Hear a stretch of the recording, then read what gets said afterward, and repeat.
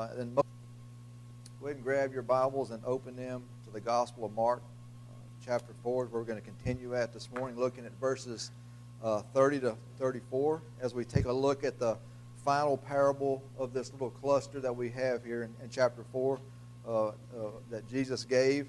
Uh, and most of your Bibles probably calls this the parable of the mustard seed. That's probably what most of your Bibles say. Uh, but I've titled this message the, the Kingdom of God because that's what the parable is all about and, and how the, the kingdom will grow. And if I were just to, to, pause right now and go around this room and ask each one of you, uh, what is the kingdom of God, uh, I would probably get lots of different answers, but most of you would probably say that the kingdom of God is heaven. And you would be absolutely correct. But see, it's more than that. It's more extensive than that. It's, it's, a, it's, a, it's more vast than, than just that, that one thing that, that most people would even, uh, or even in the Bibles, we, we know that the, the term kingdom of heaven, kingdom of God are used interchangeably. And so that is a very uh, true statement uh, there. But the, the phrase, the, the, the, kingdom of God, or, or, or the, the, it just being a place, uh, it, it's not just that, that what's not what it is. When Jesus came, that the presence of God or the kingdom of God drew near to men. And, and as we pray the, the model prayer that's thy kingdom come, right? That's what we want this to to have happen. And so it's, it's kind of a hard concept for us to get our mind around exactly what is the kingdom of God. Is it a place or is it a, is it a, a state of being? Well, the truth be known, it's both. Right? It, it's, it's all those things. It's all those things uh, uh, that uh, com- combined at one time. We can think of the, the kingdom of God as, as maybe in, in three distinct ways. Maybe the, as the, the, the eternal reign of Christ. We can think of it that way, whereas it's the uh, where the kingdom of God is the eternal reign and rule of Christ over all of creation.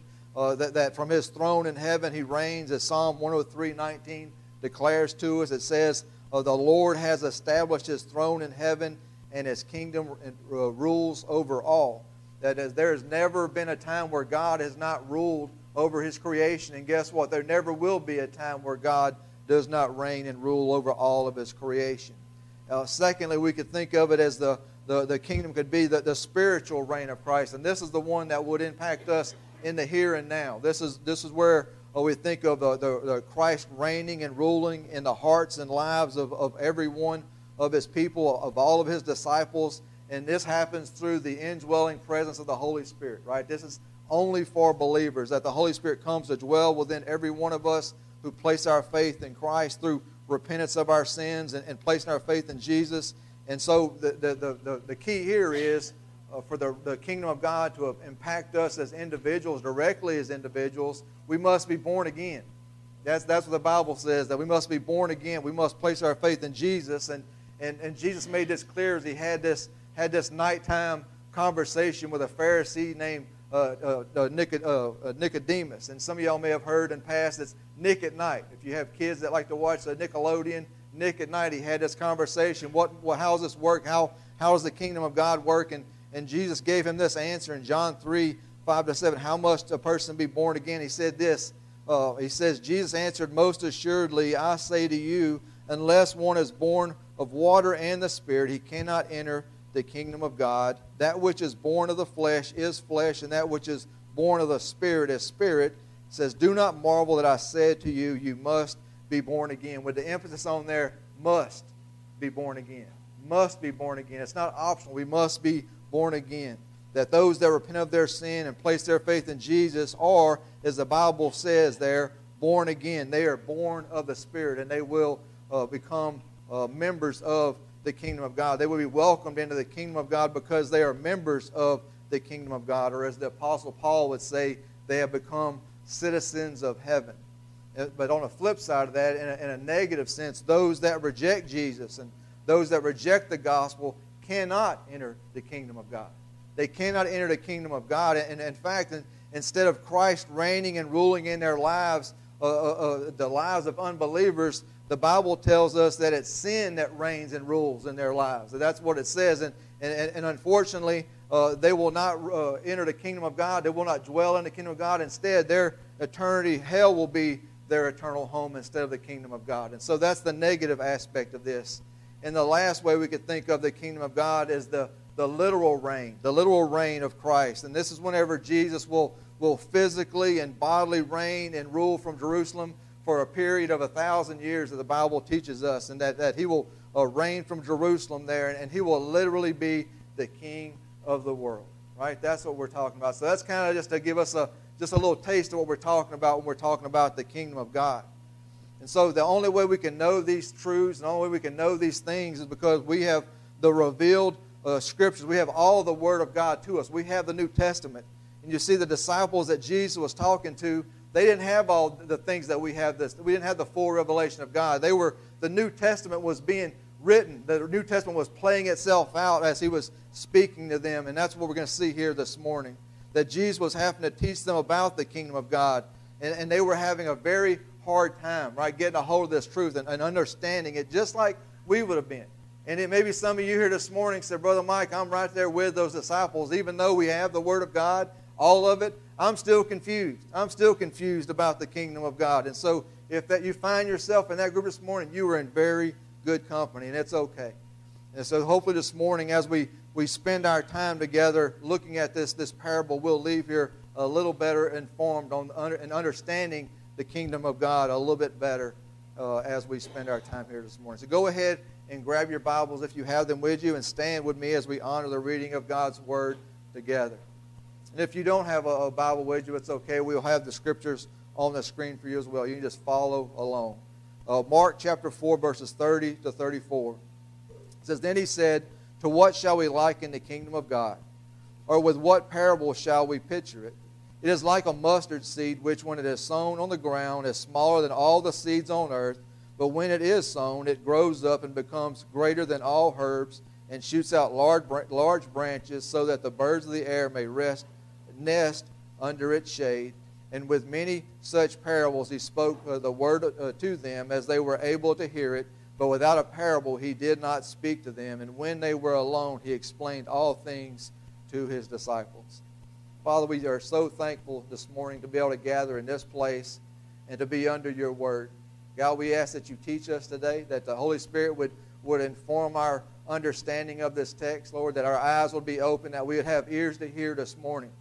God, help us to understand the, the, the, the vastness and the greatness of the kingdom of God. And Lord, help us to understand that the invitation to become members of this kingdom is available to all of us today. God, help us to to love you more. Help us to understand your word more. We love you and we ask these things in Jesus' name. Amen. You may be seated. So what I'm going to do this morning, I'm going to kind of start backwards. I know for some of you type uh, you, don't, you won't like this, but it's okay. I think it's, it's, it's necessary. And I'm going to start by explaining uh, the last two verses uh, first. And it's just a, the reminder here, talking about what, you know, the purpose of a parable. That's what he says there in 33 and 34. And with many such parables he spoke the word to them as they were able to hear it, but without a parable he did not speak to them.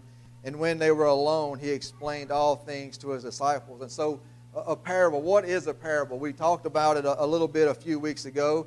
And the definition that we, we came up with is that a parable is simply a story used to illustrate a, a moral or spiritual lesson. And see, Jesus didn't always speak in parables. Before, he would uh, speak plainly and openly. But what happened was, is the religious leaders and those who hated Jesus, uh, they went too far when they began to accuse him of being possessed by Satan and, and, and, and doing all the works that he was doing by the power of Satan. And, and things changed, that the hardness of their hearts uh, changed the way Jesus would, would teach. That, that he, would, he would now speak only in parables as a form of judgment uh, against those that had hardened their hearts towards him and his gospel. You see, they hated Jesus. They hated Jesus. They hated him. They rejected him. They rejected his offer of forgiveness. He was not the Messiah. In their opinion, they thought he was a blasphemer. And because of their open hatred and because of their open rejection of, of his teachings, they would be now, now they would be prevented from understanding Jesus' teachings and entering into the kingdom of God. So this was a, a, a huge change, a, a, huge shift in the way Jesus uh, taught. But he would, uh, the text tells us that he would explain uh, the, the parables to his disciples. And afterwards, he would tell them uh, uh, what he meant by those things. Because, and he would also share uh, the explanation with those whose hearts were open to, to, and receptive to his teachings. They were, as we learned a few weeks ago, good ground, right? They were receptive to what he had to say. And pastor and theologian and author John MacArthur, man I often refer to, he explained uh, it this way what was going on. He said that parables had a clear twofold purpose. They hid the truth from self righteous or self satisfied people who fancy themselves too sophisticated to learn from him, while the same parables revealed truth to eager souls with childlike faith, those who were hungering and thirsting for righteousness. I think that's a great explanation. Those who have already formed an opinion, those who have already decided that, that they don't believe the Word of God, they don't believe in Jesus, all those things, then, then when the Word of God goes forth, they just they can't understand it. They have no desire to understand it. But those who are hungering and thirsting for righteousness, those who want to know the Word of God, those who want to be transformed and changed, guess what? Then, then God will uh, give you that ability. He'll give you the understanding of the text. It still works the very same way, not just with the parables. It also works with all of Scripture in the same very manner. So I would just say it this way. You know, for us, if you're here this morning and you're willing to learn the Word of God, you want to hear the Word of God, guess what? It'll happen. And if you don't, guess what? It won't either. If you don't want to hear it, you don't want to grow, you don't want to know it, then guess what? You'll leave here the same way you came in. Totally unmoved, totally unchanged. But if you want to receive the Word of God, you want to receive Christ, that will happen today. And, and Jesus uh, made this statement about this same type of scenario that in, in Matthew's Gospel in, in, chapter 11, verses 25 to 26 says, it says, At that time Jesus answered and said, I thank you, Father, Lord of heaven and earth, that you have hidden these things from the wise and prudent and have revealed them to babes. Even so, Father, for so it seemed good in your sight. And so Jesus is not taken off guard by this. You know, it's basically if you want to know the Word of God, if you want to have a relationship with Jesus Christ, you'll have it. He wants that for you. But if not, then He will not force Himself on anyone. All right, He gives us this choice. So, with all that being said, I would just ask you this morning, what is your attitude towards God and His Word? Right, this morning, right now, right now, at what time is it? 11:30 a.m. on uh, February 18, 2008. What is your attitude towards God and His Word this morning? Or are you here this morning because you hunger and thirst for righteousness? Right? Is that, is that what you're here for? See, if you are here for those reasons, then you should expect for God to open the truth of His Word to you this morning. You see, if you came here this morning and you were empty and you're unconcerned about the things of God, it's very likely that you will leave here the very same way that you came in, as I've already said. Is, is what are your intentions here this morning? What is your attitude towards God? Do you have ears to hear and eyes to see? You see, if you do this morning, this short parable will reveal three truths to us. The same three truths about the kingdom of God that it did to those original disciples. And the first truth that we see in our passage is the beginning of the kingdom. The beginning of the kingdom of God. Verse 31 says this It is like a mustard seed, which in when it is when it is sown on the ground is smaller than all the seeds on earth. And so Jesus was not giving a botany lesson here. That's not what he was about. That's not what he's talking about. Uh, that the mustard seed was tiny, right? It, it's, it's, incredibly small, uh, but there are smaller seeds in the world. This is the, the smallest one on the planet, per se. But what he's doing here is like he always teaches in ways that they would understand that the, the mustard uh, plants, the mustard bushes, were common there in that area, and they would know exactly what uh, he's talking about here. So that's why he chose to use this as an example. That it, it, it, it's a, a great example of how the kingdom of God would begin. That the seeds of the gospel were being sown everywhere that Jesus went. That he was steadily speaking the truth of God's word and inviting people to repent, turn from their sins. But at, at this point, it seemed like very little was happening, right? As they as they were going about, and, and mostly uh, people were coming to Jesus but they weren't coming to repent and believe. That weren't, that's weren't why they were coming. They were coming to him because of the miracles, right? They were coming to him to be healed. They were coming to be, uh, if they were lame, whatever their, their sickness or disease, or, or somebody had a loved one that was demon possessed, right? That they, they would come to Jesus because they, because they heard that's what he was doing. He was uh, making people well in this sense, but they very few were coming to him to uh, be saved and uh, born again. That the crowds were massive but the converts were few. And so the disciples were picking up on this. They were seeing this, and they were probably uh, beginning to grow discouraged because they were seeing so few people actually uh, turning to Christ as Lord and Savior. And even though they were with Jesus around the clock, day to day, they would see Him, and, and, they, and they had seen the miracles, and they had heard uh, how he taught with authority, still that nothing was happening. And so, uh, uh, what Jesus is kind of doing here is, is preparing their hearts and encouraging them because he knew that they would hear the criticisms. Right? You know how it is that if somebody that you care for and, and they're having a bad time and, and they begin to, you want to support them, but everybody seems to be going against them, how hard it is on you to not get sucked into that type of situation. And so, the very same thing is happening here. They would, they would hear all the, the reasons why uh, Jesus couldn't possibly be the Messiah. And, and, and you know, they would hear that y'all were just a bunch of fools. Right? If y'all believe that this guy is the Messiah, you were a bunch of fools and you're wasting your life. And so, what Jesus was doing is trying to prepare them and trying to help them see things a little more clearly that, that they're not following Jesus. It's not a mistake to do that. But I mean, think about it. The, the proof is, is pretty overwhelming. You could understand how they might begin to believe this for themselves. I mean, after all, you know where Jesus was born, right? Bethlehem, right? He was born in Bethlehem and in abject poverty. He was just the son of a, a carpenter. That's all he was. He was raised in Nazareth. You know where Nazareth is? Nobody knows where Nazareth is. It's just a little, a little hole in the wall, nowhere town. Nothing ever good comes from Nazareth that he had no support from his own family. They didn't believe he was the Messiah. Only Mary, his mother, she's the only one uh, uh, that believed in him and understood. Uh, he had no money, uh, he had no home. Uh, he was completely rejected by the religious leaders of his day. You see, if you think about Jesus, just uh, looking at him from the outside, just looking at him on, at face value, Jesus was just a nobody from nowhere. And you're following this guy. And they hear all these things, that y'all really believe that this is the Messiah. How could this be? And seeing, of course, the, to top it all off, the only ones that were following him was just a bunch of nobodies, too. Right? If you look at it, who, who were the ones, who were the disciples? Just a bunch of common fishermen. Then you throw in a tax collector. Then you have a religious zealot. That's the ones that made up this group that were following Jesus. They were just 12 ordinary men.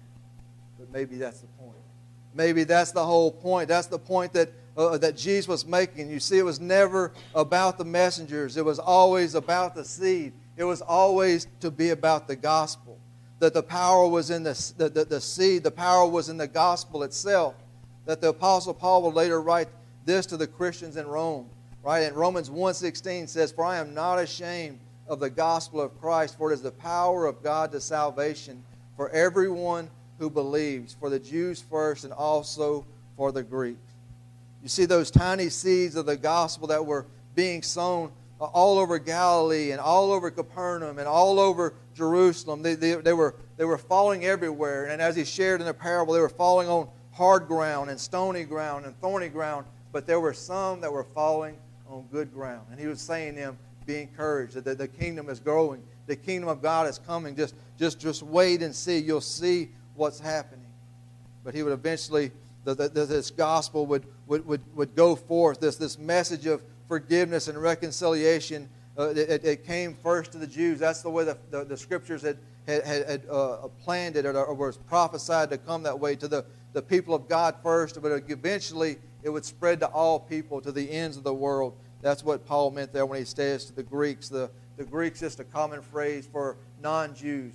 We, we would be Greeks, so we'd be Gentiles. Anyone who is a non Jew is what Paul was speaking of there. That the seeds of the kingdom were being sown into the hearts and people everywhere that Jesus and his disciples went. And like that tiny mustard seed, the kingdom of God started off seemingly small and insignificant. Seemingly small and insignificant. Not much going on, but see, the kingdom of God may have began with just 12 ordinary men, but it would grow exponentially. It would grow exponentially after Jesus' death, burial, and resurrection.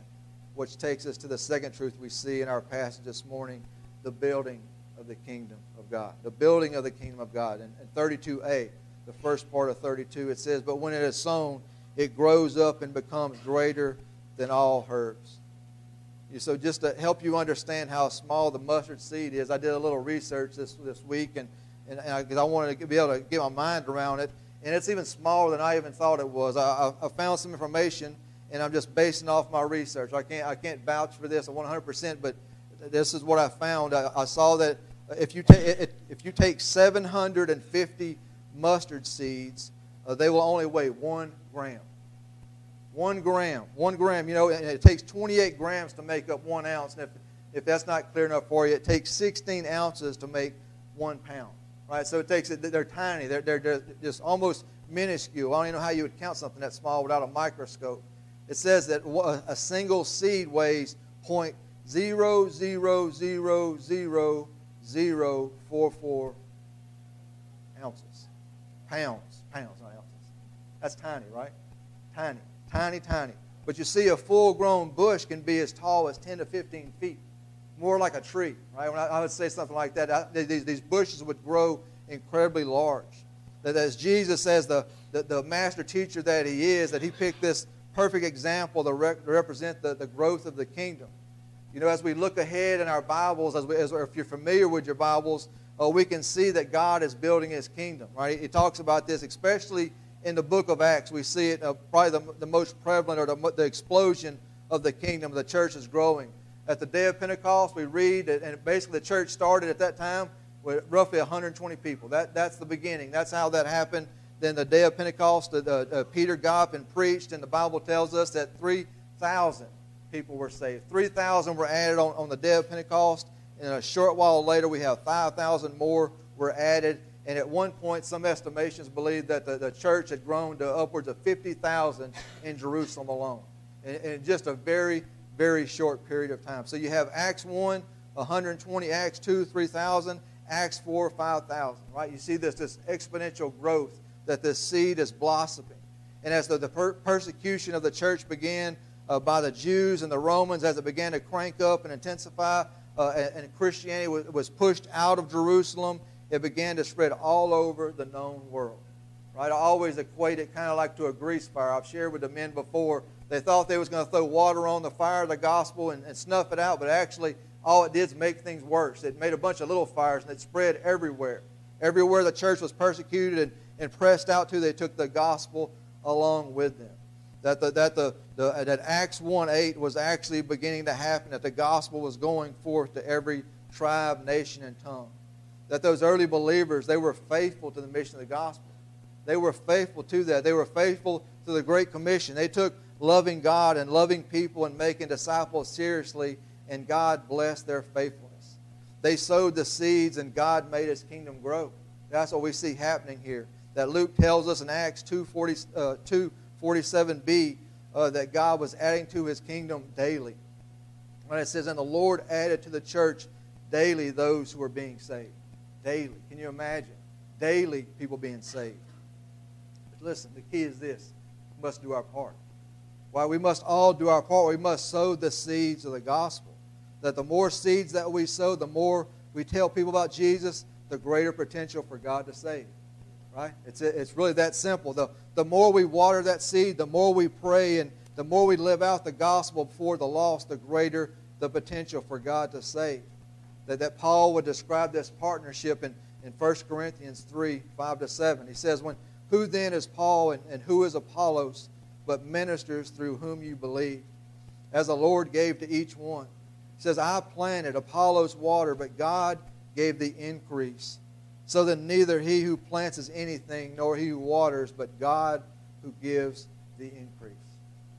God who gives the increase. You see that there? Who gives the increase? Who makes the kingdom grow? Who makes the kingdom come? It's God. He is the one building his kingdom. That, that God is the one, that he has chosen you and me to play a vital part in the process. So that's what we see in the scriptures. That even in the darkest of days that have occurred since Jesus ascended back to the right hand of the Father in heaven, the gospel has kept going forth. It has never stopped. It has never stopped moving. And you know why I know or how I can see that? We're here. Look around the room. You know where we're at? We're in Pitkin, Louisiana. This isn't Jerusalem. We're on the other side of the world. How did the gospel get here? How did this church get planted here? How did people get saved here? Because the gospel went forth. The kingdom of God is still growing. It's, still coming. As more and more people are being added and faithful believers keep on telling people the good news that Jesus saves sinners. He keeps telling the, the, the, they keep telling the gospel that God still will, will still be saving lost people even after the, the, the, tribulation period time. The Bible, we looked about this a couple weeks ago, that, that God uh, gave John a vision of those that were saved during the, that time that they were, uh, and they could not be numbered, right? And that's what we see in Revelation 7 9 to 10. This is uh, after the tribulation period.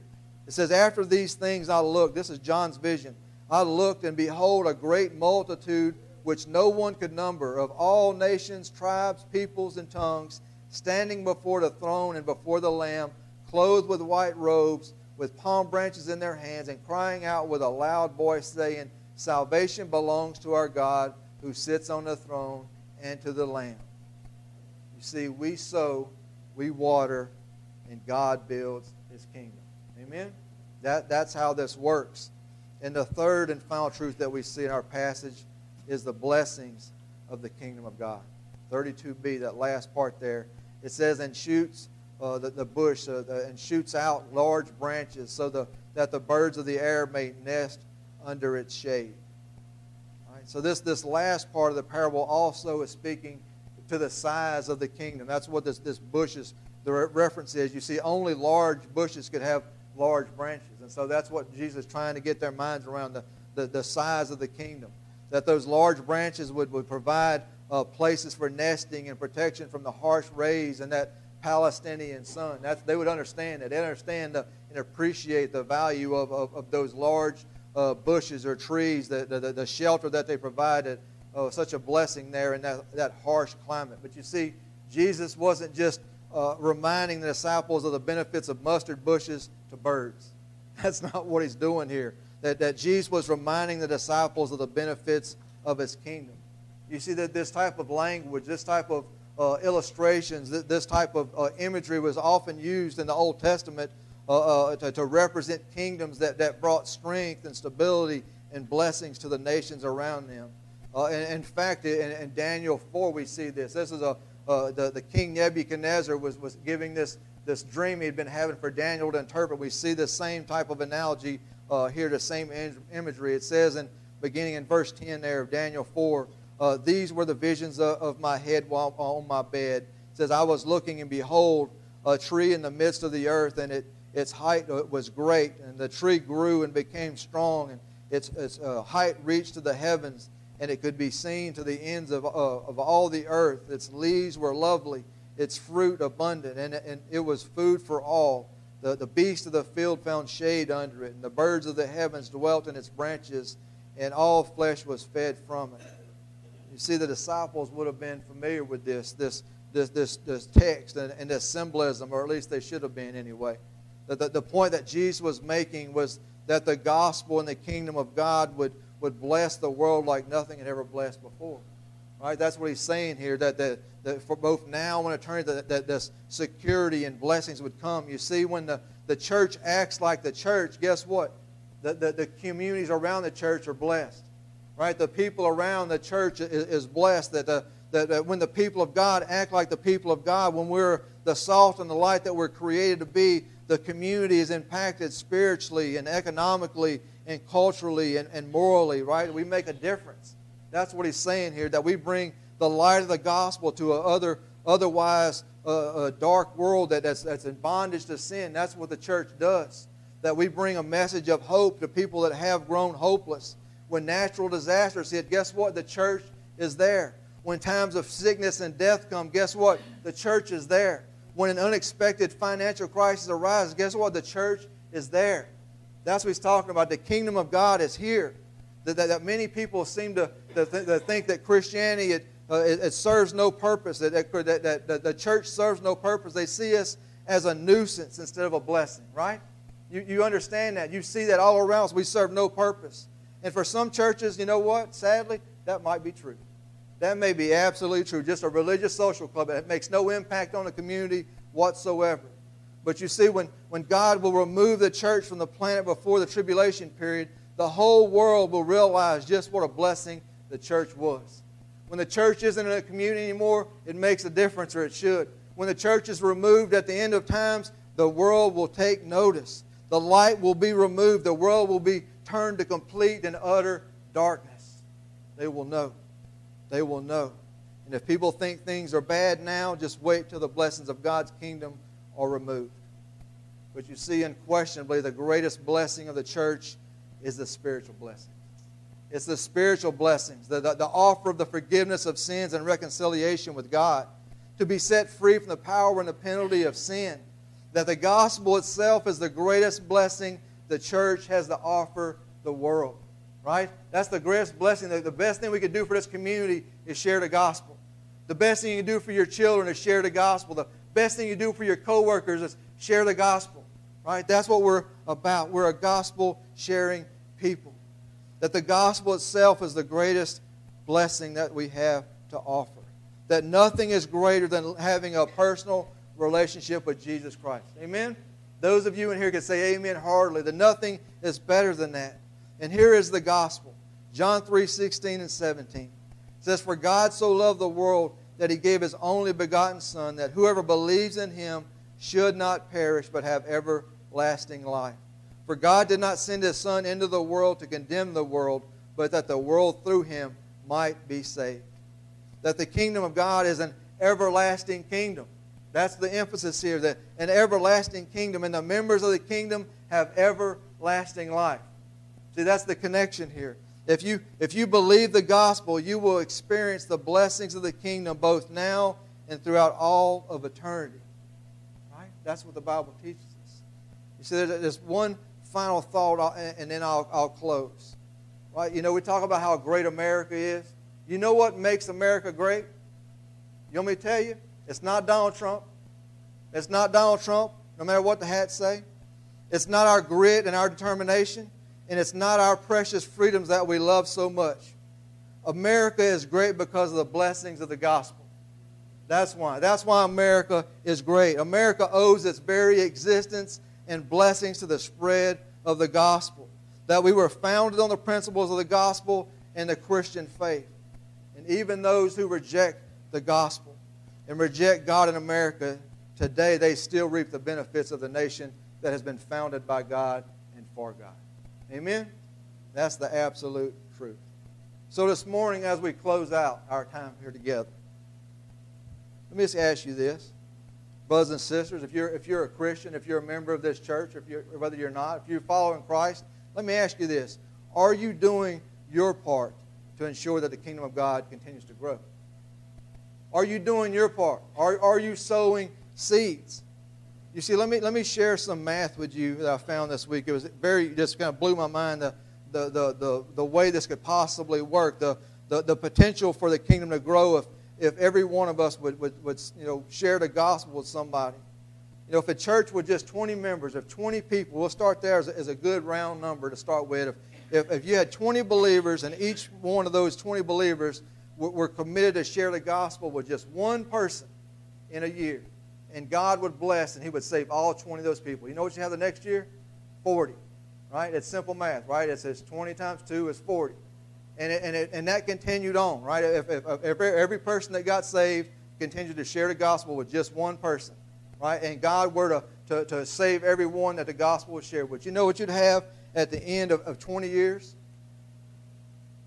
Listen to this, this number. At the end of 20 years, you would have the number of believers would total uh, 20,971,520 if just one, if, if each one of us would share the gospel one, with one person and, he, and God would bless us and they would all come to faith. From 20 to nearly 21 million in 20 years. That's a lot of seed that's being sowed. See, my, my point is, we, we know that God doesn't save everyone that we share the gospel with, but I'm talking about the potential, right? What if? You know, we've talked about it. If we don't share the gospel, then nobody will be saved. We know that. Right? So we share the seeds and we, wait and we wait for God to, to build his kingdom. You see, that's what Jesus meant by the kingdom of God being like a mustard seed. You see, in the beginning, it was just Jesus and the tw- these 12 nobodies, but they proved themselves to be faithful nobodies. And, and, and according to Pew Research Center, uh, as of 2010, Christianity is the largest religion in the world with 2.2 billion believers worldwide. Can you believe that? I know, I know the world don't look like it.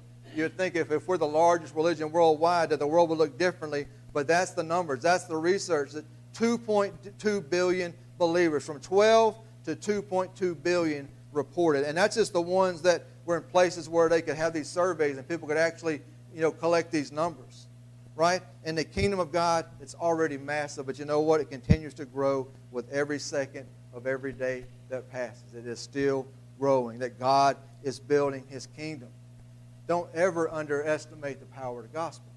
Don't ever underestimate the power of the gospel. Sow those tiny seeds and then watch God produce a tree. Amen?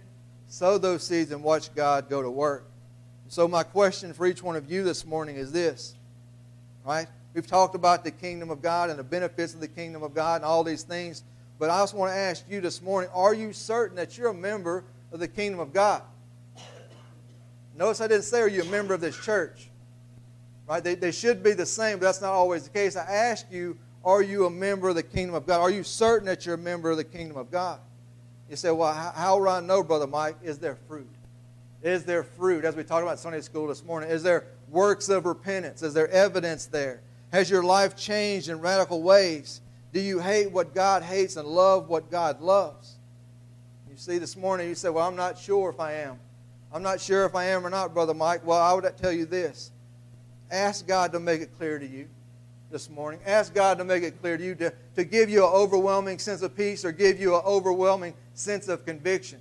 Let, let Him trouble your heart this morning. Let, that, that you leave this place knowing for sure that you're a member of the kingdom of God or you're not a member. And you see, if you're not a member this morning and you know you're not, guess what? You can be before you leave this place today. You can before you leave this place today. And, and here's how it happens. The Bible tells us that we must repent of our sin, right? Or to turn from our sin, not just to be sorry for it or feel bad about it, but to turn away from it, to, to see it as God sees it and to walk away from it. Acts 3.19 says, Repent, therefore, and be converted, that your sins may be blotted out, so the times of refreshing may come from the presence of the Lord. And then also, to be saved, to become a member of the kingdom of God, uh, we must profess our faith in Jesus. Right? Romans 10 9 and 10 says that if you confess with your mouth the Lord Jesus and believe in your heart that God has raised him from the dead, you will be saved. For with the heart one believes unto righteousness, and with the mouth the confession is made unto salvation. And then once you do that, you get baptized and you join a Bible uh, preaching, Bible teaching, and Bible believing church. And I think I know one. If you're looking for one, I think I know one. I, I think I know a pretty good one that you'd, you'd be welcomed at, and they would be sure to disciple you and raise you up and help you to grow in your faith. Right? And get discipled in the ways of Jesus. Learn the Bible, uh, live the Bible, and then get busy sowing your own mustard seeds. Right? That's, what, that's how it works. That's the process. That's how the kingdom grows. And I would invite you then to get busy doing your own part, growing the kingdom of God. So I'm not sure this morning how this has spoken to you, and, and, and maybe you got more information. Maybe you understand the kingdom better, uh, or maybe today that, that, that, that God is inviting you, that your heart has been pricked by the word, and the Spirit of God has been working on your heart this whole time I've been talking that, that He's doing a work, and today is a day of salvation. Today is a day you become a member of His kingdom, right? Or maybe you just need prayer, or, or maybe you've been a believer for a long time, you've never been baptized, or maybe I'm not sure what God is telling you to do, but all, all I would do is invite you to do whatever God is leading you to do before you leave this place today. Amen? Let me pray for us, and we'll have a time to do just that, a time to respond. Father, we thank you so much for this day. We thank you for the, the, the truthfulness of your word. We thank you for the, the, the, the, power in your word, God. We thank you for the clarity uh, of your word today. Lord, let us be encouraged as, as we see the, the, the truth of your word today, as we look at the parable of this mustard seed, something that is so, so tiny, even microscopic, if you would say, that, that would start out so small and to, and to grow to be such a large, large plant. What a great illustration of what the kingdom of God is. To start so small when, it, with just a, a small group of men, uh, some, some un, uh, unpopular, uh, just common nobodies, and, and you would use those men to grow your kingdom to what it is today, and it will continue to grow if your church is faithful. So, God, help us to be faithful. Uh, Father, I pray for those that are here this morning that, that perhaps have not uh, ever placed their faith in Jesus Christ as Lord and Savior, God, that today would be that day. That today they would uh, have the courage to, to step out and say, I want to follow Jesus. I want to repent of my sins. I understand that I have, I have grieved God's heart, and, and, and I'm, I'm, because of my sin, I'm under the wrath of God, and I want to be free from that. I want to be free from the, the penalty. I want to be free from the, the bondage of sin, and I want to, to, to, to be Jesus to be my Lord and Savior today. God, I also pray for those here this morning that are just just troubled, just just grieved for for any number of reasons. That there's a that there's a, a just a, a, a, hearts that are broken in this place for various reasons. People that need discernment, God, I pray for them that you would bless them in their need. God, help us to respond to you the way you want us to respond before we leave this place. We love you and we ask these things in Jesus' name. Amen.